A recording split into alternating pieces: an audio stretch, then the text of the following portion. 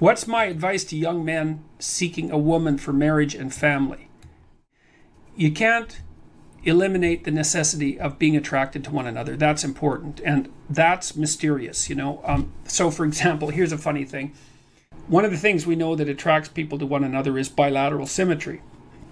And so, if you take men and you rank them by the symmetry of their faces, and then you give the asymmetrical men t shirts to wear, clean t shirts for a day, and the symmetrical men clean t-shirts to wear for a day. And then you give the t-shirts to women and you have them rate the the odor.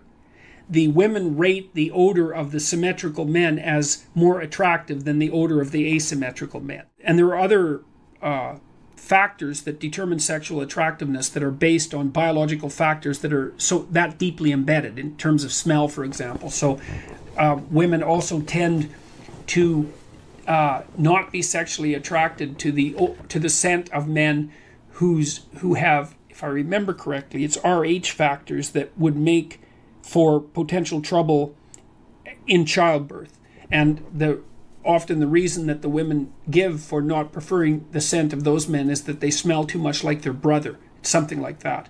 So there's weird, mysterious things that determine whether or not people are sexually and physically attracted to each other, and I think it's very important that that's part of a marital relationship.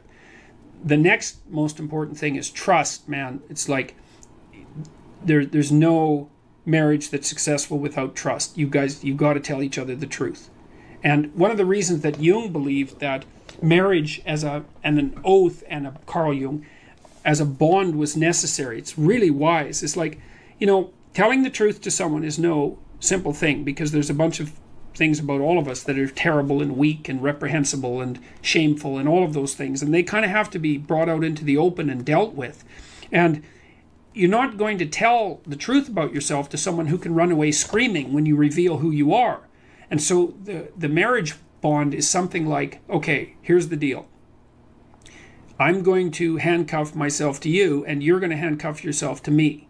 And then we're going to tell each other the truth, and neither of us are going to get to run away.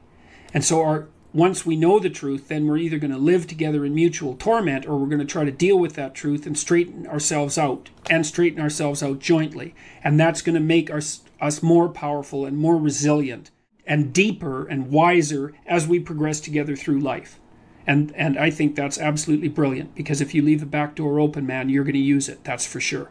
And the oath is there. And this was Jung's commentary on the spiritualization of, of the human pair bond by Christian marriage, for example, which which emphasized uh, what would you call it the subordination of both members of the marital union to a higher order uh, personality that was embodied in the figure of the logos.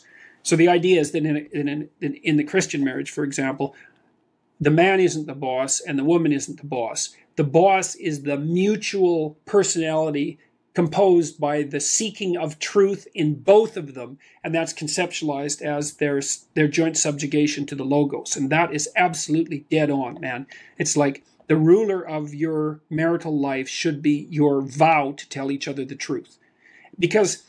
Like in hard times during your life, when you've done something stupid and idiotic that might take you down, and you don't have anybody that you can turn to. You know, if you have a partner that you can trust, you can go say, hey, you know, I made a big financial mistake, man, and it's really torturing me, and I feel like a complete idiot, and it's really dangerous. And the person there is going to help you figure out what to do about it. And they're going to know that when they make a stupid mistake, and they're bloody well going to, that they can come and talk to you and that you guys are going to work your way through it. And that's a big deal. And there's a couple of things our culture gets really wrong. And one is it devalues marriage that's really a very bad idea because marriage is marriage is like a third of your life and maybe more and kids are a third of your life and your your your life outside of marriage and kids is a third of your life you know approximately speaking. And to miss any of that is a massive massive mistake. Now having said that I will also say that for some people, missing one or more of those is necessary because they have a reason you know, maybe they're brilliantly creative artists and they need to devote themselves entirely to their career or they're outstanding in some way and so they need they can justify the sacrifice of one part of that triad of being to another part but for but generally speaking it's a very dangerous thing and and it it it shouldn't be done. And also, kids get an absolutely terrible rap, you know, because kids are delightful. If they're well behaved, one of the chapters in my new book is called Don't Let Your Children Do Anything That Makes You Dislike Them. And you can do that, especially if you discuss it thoroughly with your spouse, your the person that's helping you discipline the kids. And children are the best company because they're really enthusiastic about everything. They love doing new things. They really love you, so they're happy that you're around. Um, all you have to do is make sure they're not too hot and they're not too cold and they've had something to eat and they're not too tired and you don't expect them to stay engaged in something for longer than they can manage. Because we used to take our kids when they were little out to restaurants, for example, and they could sit there no problem and behave really nicely when they were two and three, but they couldn't do it for more than about 45 minutes. You can't push your luck.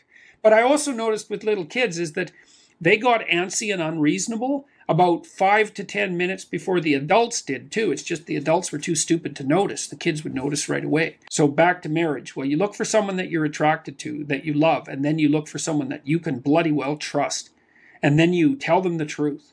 And and that way maybe you can get through life and you can have someone to weave the rope of your being with and together to make to make your joint rope stronger and you can have some continuity in your narrative and you can have children and then you can have grandchildren and like you can have a life man and there's nothing you're so fortunate if you can manage that.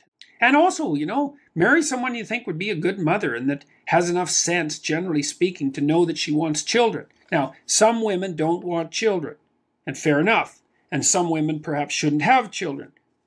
That's also possible but the general rule of thumb is, especially once a woman's, you know, in her mid 20s, if she doesn't know that she wants children or won't admit it, unless she has a viciously important reason, then she's not oriented properly psychologically. She she she isn't she doesn't know what's important in life. Now that might also be the case with you, and it probably is, but as a rule of thumb, that's a really good one.